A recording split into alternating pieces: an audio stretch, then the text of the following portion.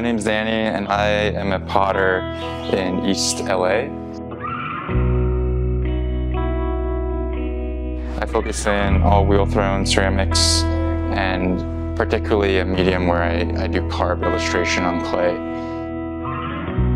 If you look at my work, there's a lot of Americana tattoo designs, and I think that's just kind of foundational to how I can really translate illustrations on the clay. A favorite thing I like to do is just go to thrift store and kind of check out what's going on and take some photos and see some of like the classic Americana art that's hanging on the walls. And um, that'll be like a nice source of inspiration for me.